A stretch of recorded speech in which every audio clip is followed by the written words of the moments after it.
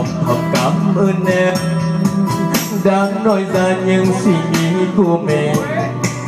Rằng bấy lâu nay em đã không không còn yêu anh. Để rồi lòng em tự hỏi, có đang hay không nếu ta từng nói sai lầm? Vì đã không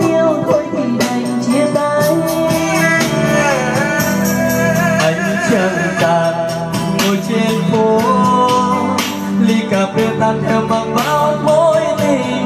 Lúc buồn phiền, chẳng ai muốn. Giọt nước mắt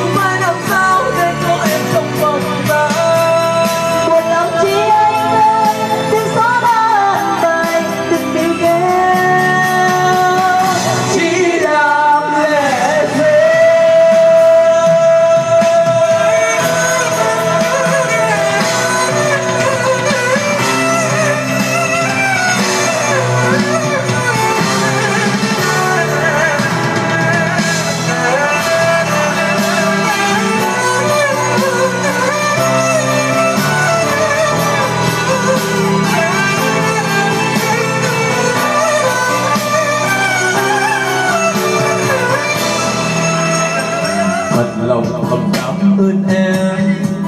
Đã nói ra những suy nghĩ của mình.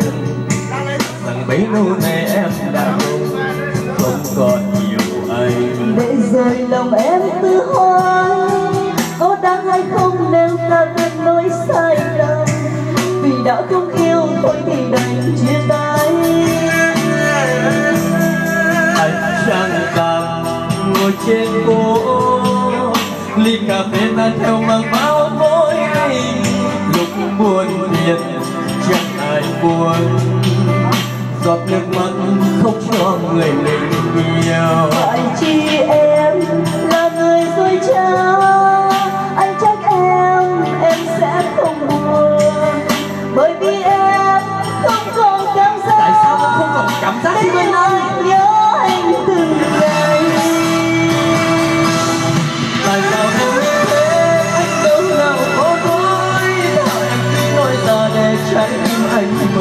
mộng.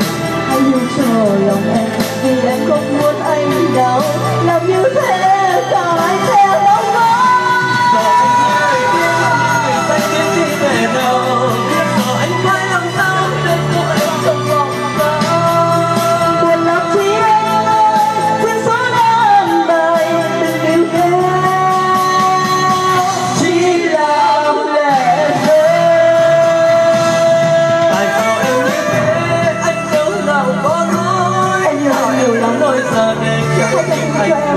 mộng hãy yêu cho lòng em vì em không muốn anh đau